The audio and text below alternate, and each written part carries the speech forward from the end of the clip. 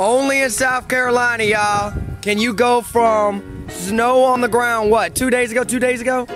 I mean, I think if you go in the shadows, there might still be maybe a little bit of ice somewhere. We might be able to find a little bit somewhere. Maybe not even. I don't know. It's already pretty hot, to be honest.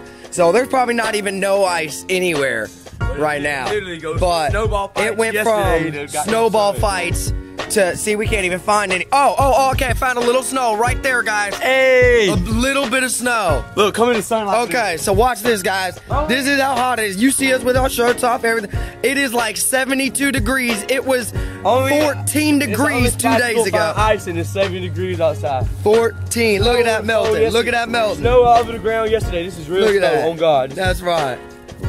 That's only in South Carolina, y'all. You see how bright it is? Look at that sun. Look at that sun.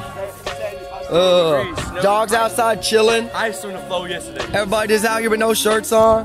What you doing? Come on, what you doing?